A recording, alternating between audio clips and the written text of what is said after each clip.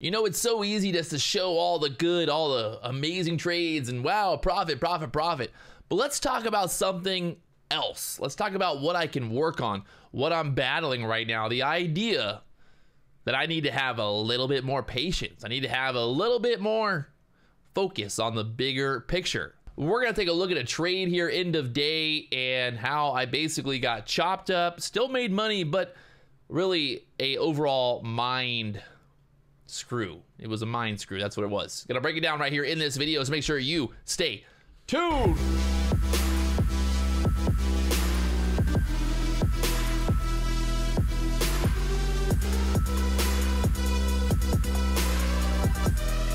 All right, all right, let's break.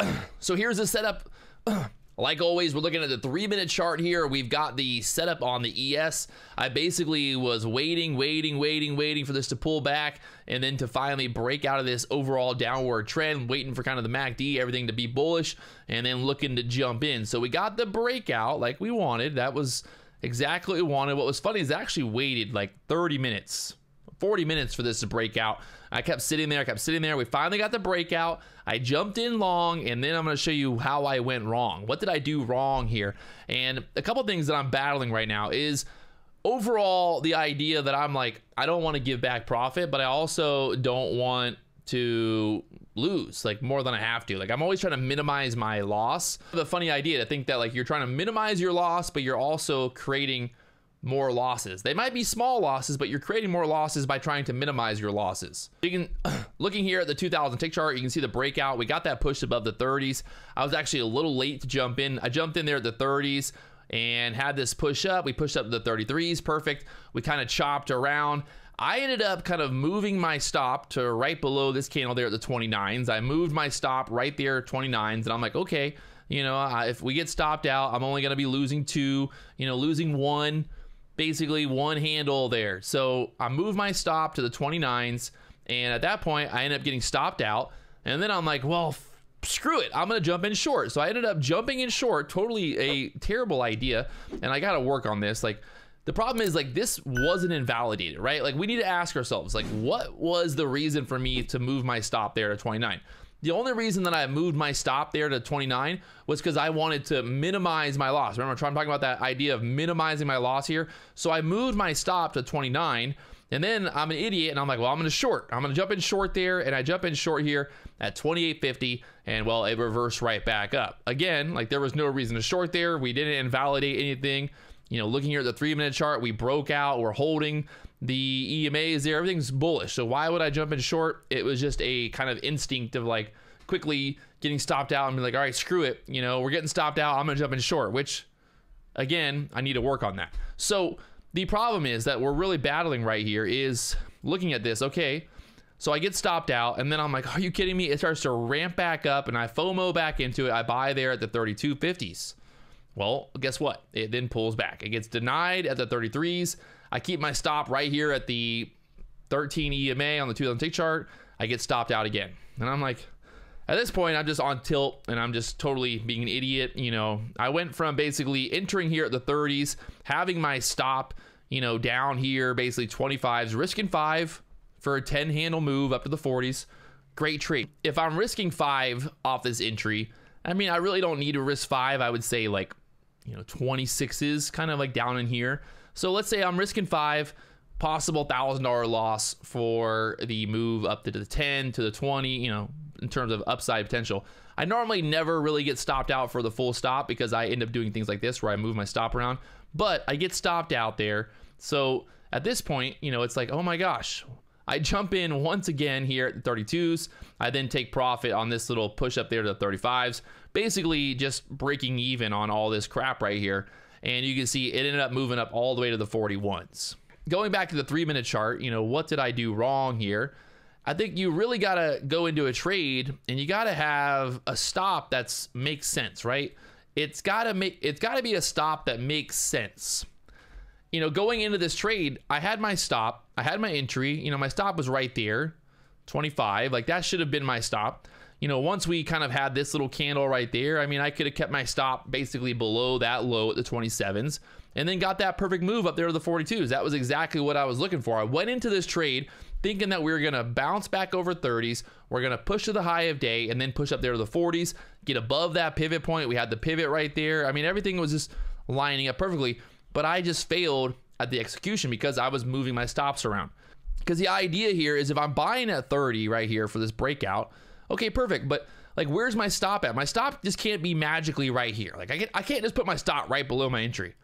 I just can't do it. Like, you got to give yourself some wiggle room. There's gonna be some. There's gonna be little ups and downs. Like, you just can't keep your stop that tight. You know, I battled this before. I've made videos about this before about the idea of moving my stop to break even. Today, it broke even after like three or four trades on it. But like in general, really, I need to focus on if I'm entering here at the 30s, like what's the plan? You know, the plan is to get this move up here. The plan is not to just get stopped out at 27 if I'm entering at, you know, 28s. If I'm entering at 30, I'm going to put my stop at 29 and get out for one handle and then do something stupid and re-enter. I mean, it's one thing to get stopped out. It's like, what do you do after you get stopped out? Do you end up getting on FOMO and jumping back in, trying to short? Like, what do you do after you get stopped out? Do you just magically, do you just walk away? You know, do you stop trading at that point if you get stopped out for a one handle loss? So I really got to think about, like, I think it's very important to enter the trade, understanding where your stop is, what your risk is, obviously, but we also, we want to understand like what the move is doing. You know, is if we break above 30 here, okay, well, we might get some chop in this area before moving higher. So, like, why would I put my stop right there at 29?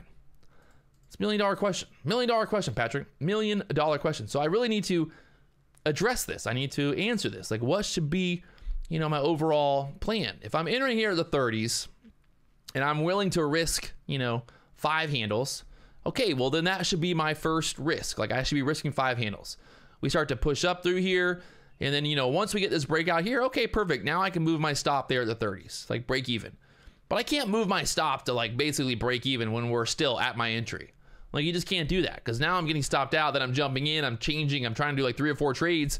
You know, I ended up doing four trades. I ended up doing three trades inside of this area right here, where my first trade, my first entry, was a winning entry. I just needed to manage my stop loss better. I needed to just manage what was going on and you know hold this, move my stop to 27s once we kind of put in that higher low there, not just you know oh I'm gonna enter 30, stop right there at 29. Perfect idea, Patrick. Perfect idea. And then especially like getting short right there. I don't even want to talk about that. But in general, I wanted to make this video so you guys see that I'm going through it just like you are. I'm battling it. Obviously, like I want to make the big money, money, money.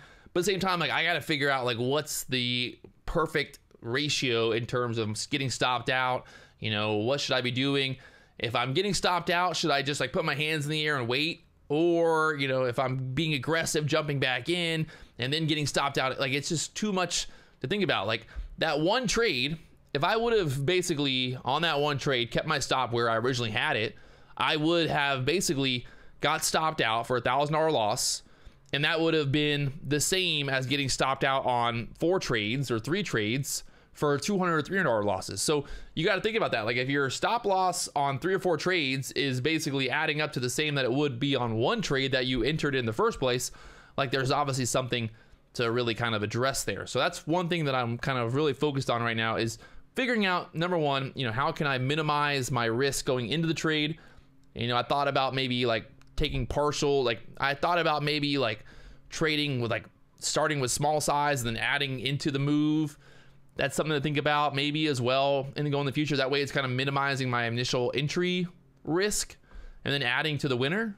I think that might be a good plan it's just a process. You know, we're going through it every day. I'm not an expert by any means. I'm just trying to kind of figure out what I can do to make my trading better. How can I execute the plan better? How can I follow the rules better? And well, today, a good example of if I'm going to enter a trade, I got to let it do its thing. Like, be patient. Let the trade work. Don't just move your stop to break even just because you're like, oh, I'm just going to move my stop break even. I think the big reason I ended up moving my stop there, I didn't want to risk, was just kind of my P&L, right? I was trading my P&L. I wasn't trading the trade.